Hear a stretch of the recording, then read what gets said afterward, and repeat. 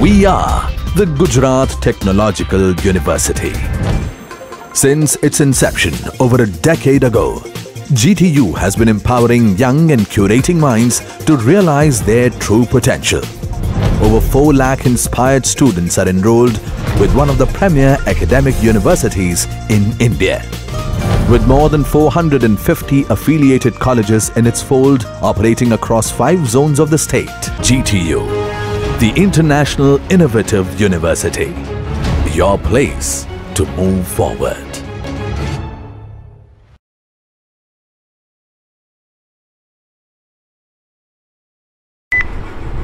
hello friends welcome. In this video we are going to discuss resources in android. So in the previous video we have discussed android manifest file. So it was one of the configuration file and it is useful in many scenarios and it is we can say the heart of the uh, android application because using it uh, the operating system the host operating system will know anything or everything about our application.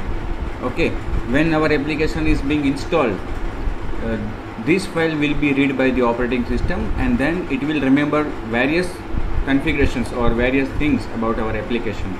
Now yet another good good approach और good important and interesting thing of android application और the android system is resources see हम बहुत सी uh, आप लोगों ने बहुत सारी programming languages पढ़ी होंगी जैसे कि C C plus plus Java dot net etcetera variables आपने सभी ने यूज़ किए होंगे ठीक है?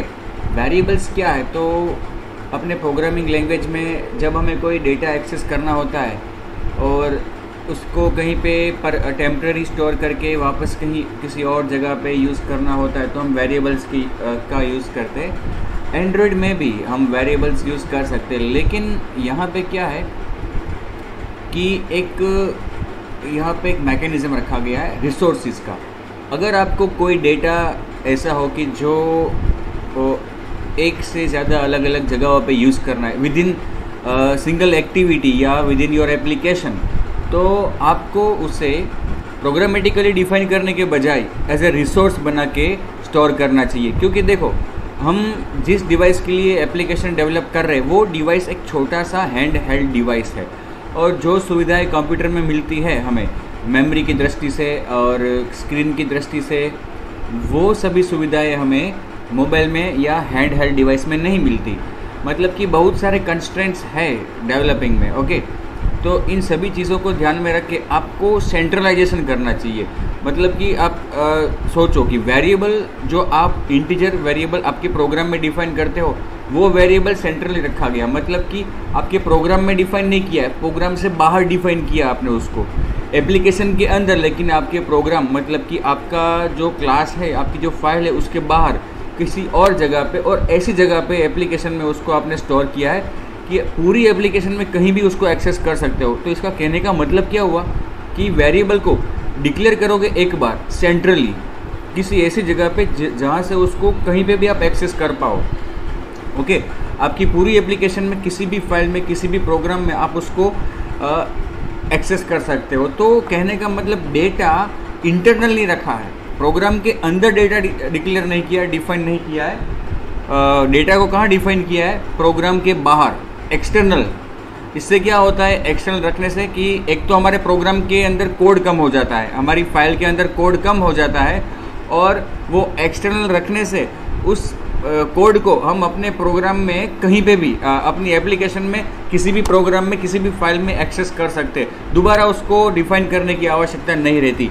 तो ये मैकेनिज़्म ये सोच से एंड्रॉयड में रखा गया है इस इस सोच के साथ। और ये जो सोच मतलब कि ये जो मैकेनिज़्म रखा है, उसको रिसोर्सिस का है। यहाँ पे छोटे से छोटा इंटीजर से लेकर आपकी पूरी एक फ़ाइल को भी आप रिसोर्स बना सकते हो। जैसे कि आपका कोई इमेज फ़ाइल हो जेपीजी हो ओके या वॉट एवर टाइप का इमेज हो, या इवन एक वीडियो हो आपके पास। उस वीडियो को भी एक ऐसे रिसोर्स बना के रख सकते हो आप। एक छोटा सा इंटीजर भी आप रिसोर्स बना के रख सकते हो। एक बुलियन वैल्यू भी आप रिसोर्स बना के रख सकते हो। तो कहने का मतलब किसी भी प्रकार का डेटा हो, उसको आप रिसोर्स बना के रख सकते हो और सेंट्रलाइज कर सकते हो। मैं, कहने का मतलब कि उसको कहीं पे भी विद इन योर एप्लीकेशन आप कहीं पे भी एक्सेस कर सकते हो programmatically as well as XML में भी। तो बहुत ही अच्छा मैकेनिज्म है ये using resources using resources is a good mechanism आइए इसको हम डिस्कस करते हैं।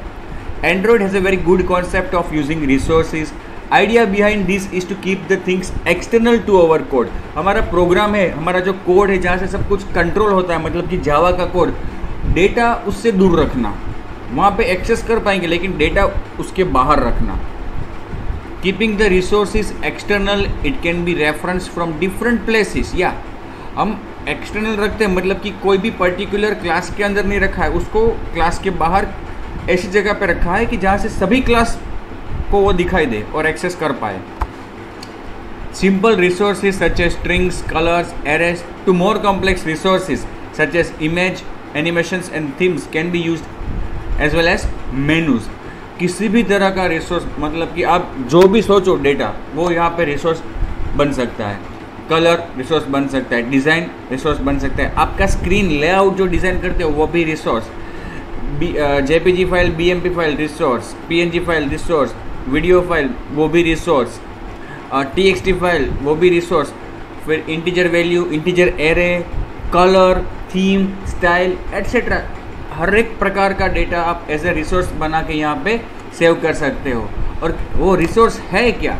कैसे उसको डिफाइन करें? वो भी हम देखेंगे अभी। By externalizing we can make them easy to maintain update and manage अब देखो कोड के बाहर हम उसे एक ही जगह पे डिफाइन कर रहे हैं। इसका एडवांटेज दूसरा भी है। एक तो ये सीधी सी बात हो गई कि हम कहीं भी उसको एक्सेस कर सकते हैं। दूसरा, कि अगर कुछ चेंज करना हुआ in future okay in case तो वो चेंज केवल एक ही जगह पे करना है। सेंट्रली जहाँ पे रिसोर्स स्टोर किया है, वहाँ पे। और किसी भी जगह पे चेंज नहीं करना। फॉर एग्जांपल मेरी एप्लीकेशन में 10 स्क्रीन है।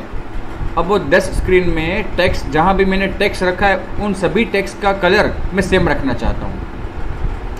तो ये हर जगह पे कलर सेट करने के बजाय कलर को मैं एक बार डिफाइन करूँगा। एज ए रिसोर्स और फिर हर जगह पे उसको सेट कर दूँगा। अब इन फ्यूचर मुझे इनकेस कलर चेंज करना है तो मुझे हर एक स्क्रीन में जाके कुछ चेंज नहीं करना है। केवल और केवल जहाँ पे मैंने रिसोर्स बना के रखा है, उस एक जगह पे मुझे कलर चेंज करना है। उसकी असर हर एक जगह पे हो जाएगी। ये उसका एडवांटेज है। Is also it also helps in defining alternative resources या ये एक बहुत ही अच्छी बात है mechanism to include different resources to support variation in hardware such screen and resolution देखो, एक सीधी सी बात है कि ये जो डिवाइस है, वो रेक्टेंगल है। ओके तो इसका जो ओरिएंटेशन होता है, वो क्लाइंट ऐसे भी रख सकता है, ऐसे भी रख सकता है। मतलब कि आपकी एप्लीकेशन जब रन होती है तो डिवाइस का ओरिएंटेशन चेंज हो सकता है। तो आपने तो क्या किया होगा कि जब लेआउट बनाया होगा स्क्रीन डिज़ाइन किया होगा तो ये सोच कर बनाया होगा कि क्लाइंट आपके मोबाइल को इस तरह पकड़ेगा पोर्ट्रेट मोड में।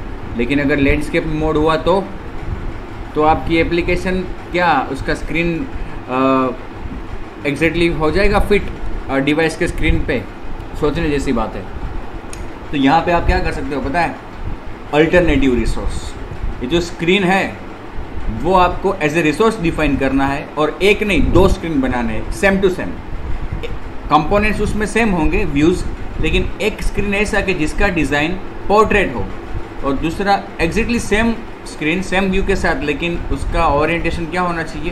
पोर्ट्रेट फॉर एग्जांपल आप लेंस पोर्ट्रेट मोड में टेन बटन्स को वर्टिकली अरेंज करते हो और उन्हीं टेन बटन्स को लैंडस्केप मोड में ओरिजेंटली अरेंज कर दो। अब क्या होगा कि आपको एज ए डेवलपर ये दोनों स्क्रीन एज ए रिसोर्स बना के सेव करनी नाम दोनों के सेम देने हैं। ओके okay, इसे कहते हैं अल्टरनेटिव रिसोर्स एक ही नाम के दो रिसोर्स अब क्या होगा कि जब आपकी एप्लीकेशन रन हो रही है और जब वो स्क्रीन इसमें डिस्प्ले हो रही है, आपकी एप्लीकेशन के अंदर ओके अगर मोबाइल इस तरह से रखा है तो पोर्ट्रेट स्क्रीन उसमें डिस्प्ले होगी। और अगर क्लाइंट ओरिएंटेशन चेंज करता है तो ऑटोमेटिकली लेआउट चेंज हो जाएगा ऑटोमेटिकली ऑटोमेटिकली मीन्स हमें कुछ नहीं करना है। डेवलपर को केवल दो स्क्रीन रखने हैं। फॉर एग्ज़ाम्पल अब ये स्क्रीन चेंज कौन करेगा? ऑपरेटिंग सिस्टम आपने जो दो रिसोर्स रखे हैं, एक ही नाम के तो उसको पता चल गया कि आपने अल्टरनेटिव रिसोर्स रखा है। तो वो अपने आप सिलेक्शन कर लेगा। जो स्क्रीन बेस्ट बेस्ट है करंट ओरिएंटेशन की हिसाब से, उसको वो डिस्प्ले करेगा। तो ये एडवांटेज है अल्टरनेटिव रिसोर्स का। अल्टरनेटिव मतलब एक का अल्टरनेट दूसरा। ये अल्टरनेटिव में केवल दो ही चीज़ होती है, ऐसा नहीं है। इसमें और भी चीज़ हो सकती है। फॉर एग्ज़ाम्पल मुझे लोकालिटी के अनुसार अपने क्लाइंट को एक ग्रीटिंग मैसेज देना है। तो एक ही स्ट्रिंग के, एक ही मैसेज के आप अलग अलग वर्जन्स रख सकते हो अलग अलग भाषा में। जैसे गुजरात में मेरी एप्लीकेशन रन हो तो गुजराती में आए ग्रीटिंग सब। अगर महाराष्ट्र में रन होती है मेरी एप्लीकेशन तो मराठी भाषा में आए। उसी तरह से अलग अलग प्रांत में मेरी एप्लीकेशन रन होती है तो उसके लोकालिटी के अनुसार लोकालिटी के अनुसार मैंने अपनी एप्लीकेशन में एक ही रिसोर्स के अलग अलग स्वरूप रख दिए स्ट्रिंग स्ट्रिंग स्ट्रिंग रिसोर्स के। अब operating system depending on the device locality अब मैंने सपोज़ कि एक ही प्रकार की दस स्ट्रिंग रखी है अलग अलग भाषा में। नाम सबके सेम है, नाम सबके सेम अब जब वो स्ट्रिंग स्क्रीन पे डिस्प्ले करने की आवश्यकता होगी, तब ऑपरेटिंग सिस्टम देखेगा कि डिवाइस का लोकल क्या है डिवाइस का लोकल सेटिंग क्या है। वो एनवायरमेंट नहीं देखता। वो जीपीएस से एनवायरमेंट नहीं देखेगा। डिवाइस में लोकालिटी कौन सी सेट की है?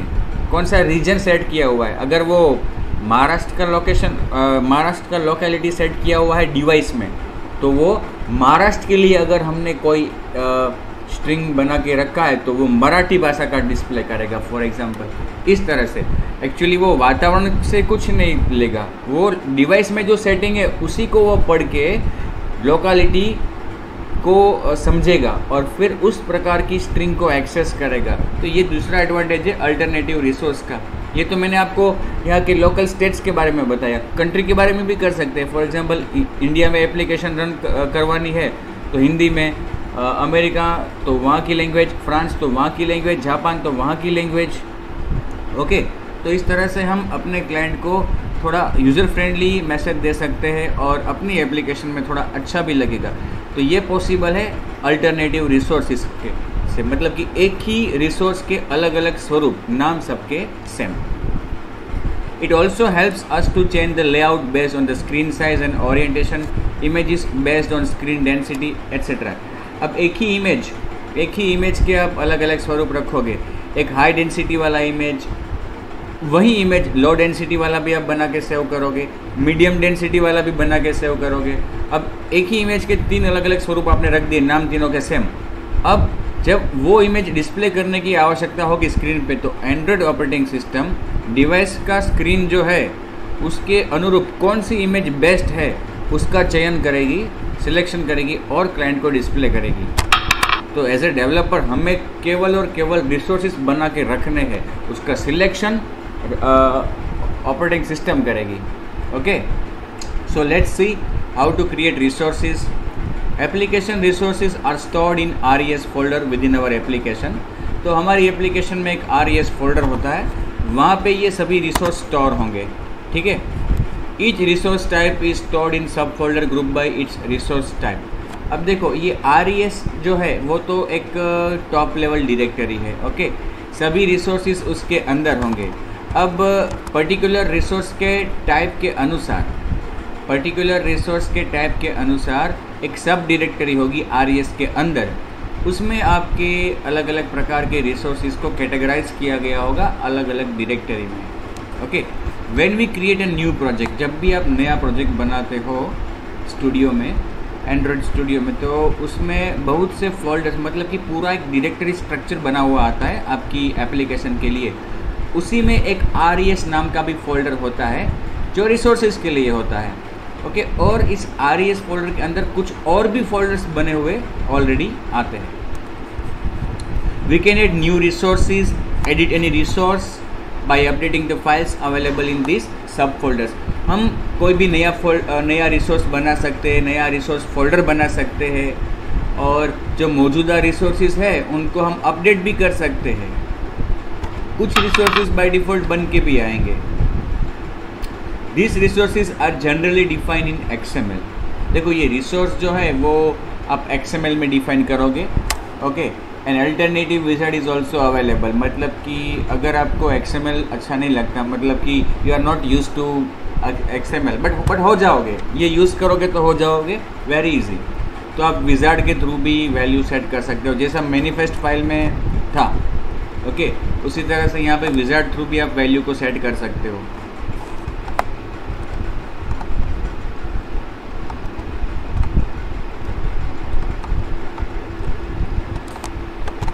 Okay when our application is build all this resources are compiled and a class named R is created which contents references to all this resources हमारा प्रोजेक्ट जब compile होता है, हमारी एप्लीकेशन जब कंपाइल होती है तो उसमें एक आर नाम की ऑटो जनरेट फ़ाइल भी बनती है।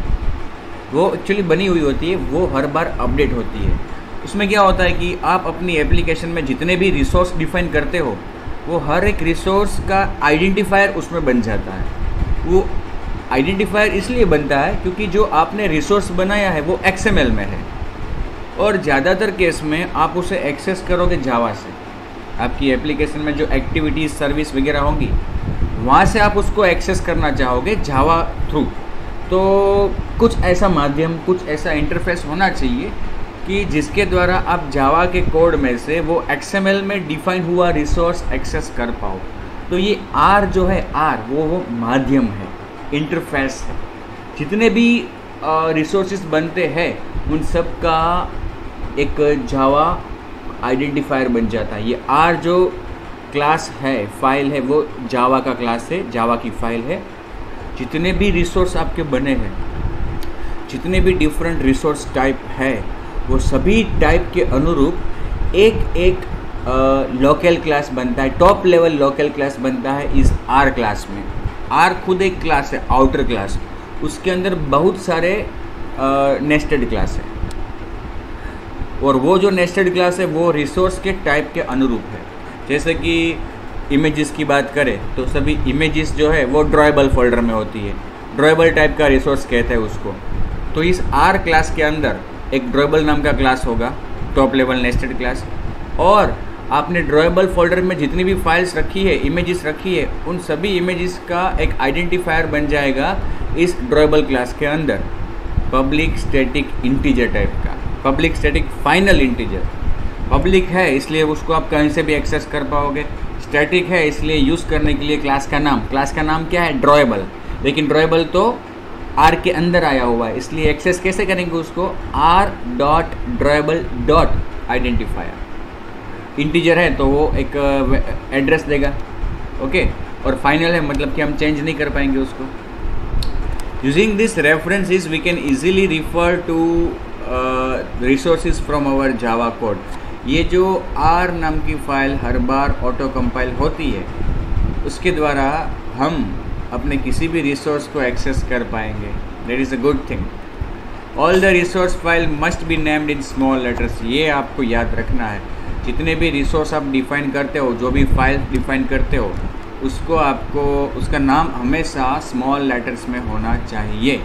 Okay numbers period and underscore are allowed okay small letter में होगा नाम और उसमें लेटर्स uh, पॉसिबल है नंबर्स पॉसिबल है डॉट एंड अंडरस्कोर भी पॉसिबल है. देखो ये आ, एक आपको बताऊँ कि यहाँ पे देखिए ये आपकी एप्लीकेशन है उसमें ये आर फोल्डर इसमें बहुत सारे फोल्डर्स ऑलरेडी बिल्ट इन आते हैं। ये एनिम फोल्डर बिल्ट इन नहीं आता, वो मैंने बनाया है। मेनू फोल्डर भी बिल्ट इन नहीं आता, वो मैंने बनाया बाकी के सब फोल्डर्स बिल्ट इन आए।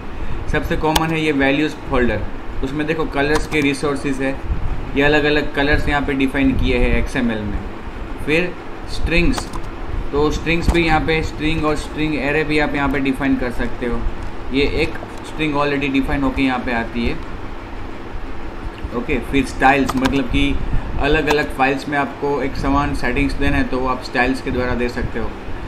अब देखो, यहाँ पे रिसोर्स में कोई भी नया रिसोर्स आपको ऐड करना हो या फोल्डर ऐड करना हो पर्टिकुलर टाइप का तो आप कर सकते हो। जैसे कि आर e में राइट क्लिक करना है और फिर न्यू पे क्लिक करना है। अगर फोल्डर बनाना चाहते हो तो रिसोर्स डिरेक्टरी ओके और फिर यहाँ पे रिसोर्स का टाइप आपको सिलेक्ट करना है, जो भी हो आपका। जैसे कि मुझे रो रिसोर्स बनाना है तो रो गाना ऑडियो वीडियो वगैरह हम इसमें रखते हैं रो में। देखो, ये रो फोल्डर बन गया। ओके उसी तरह से सपोज़ मुझे कोई फ़ाइल बनानी है तो वो मैं फ़ोल्डर पर राइट क्लिक करूँगा और फोल्डर पर राइट क्लिक करके न्यू और फिर रिसोर्स फ़ाइल जो भी है। ओके तो फोल्डर ऐड करना है तो आर एस पे राइट क्लिक करके करेंगे और रिसोर्स ऐड करना है रिसोर्स फ़ाइल तो सब फोल्डर पे क्लिक करके न्यू रिसोर्स फ़ाइल करेंगे। ठीक है? अब मैं आपको वो आर फ़ाइल का बोल रहा था। तो वो आजकल R dot T X T नाम से वो फ़ाइल बनती है आ, मेरे ख्याल से। तो उसको आपको सर्च करना हो तो यहाँ पे लिख के आप कर सकते हो। अदरवाइज़ मैंने एक वीडियो में आ, मेरे अगले वीडियो में मैंने कहीं पे आपको ये फ़ाइल एक बार बताई थी। आपको शायद याद हो तो। और वो आपको मैंने कहाँ से बताई थी? प्रोजेक्ट में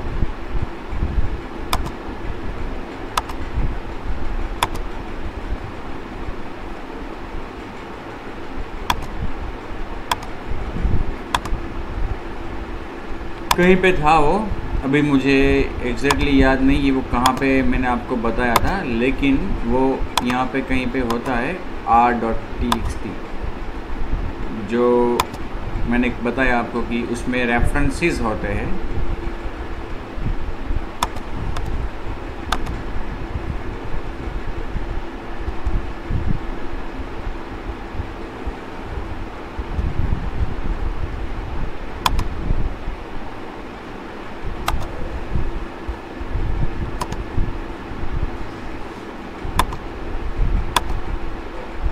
Generated app generated